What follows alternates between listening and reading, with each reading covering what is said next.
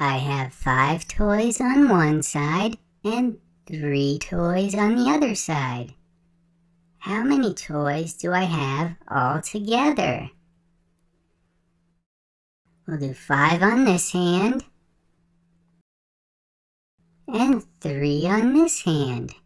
It's your job to count up all the fingers after I say ready and. Ready and.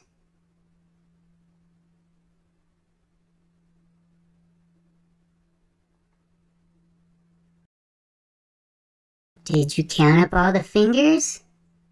Good job. I have eight toys on one side and four toys on the other side. How many toys do I have? You can start at eight and add four more. So we'll do four on our fingers. One, two, three, four. Now start at eight and count up. You'll start counting at nine. Ready and eight.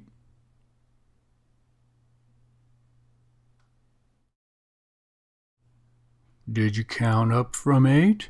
Good job.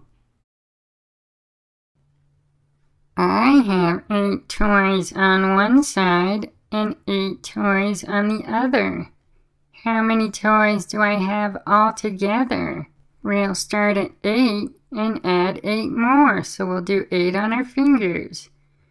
One, two, three, four, five, six, seven, eight. Now I'll start counting at 8, and you need to continue counting starting at 9. Ready? And 8.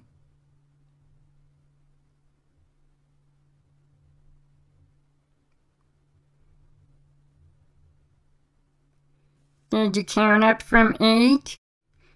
Great job!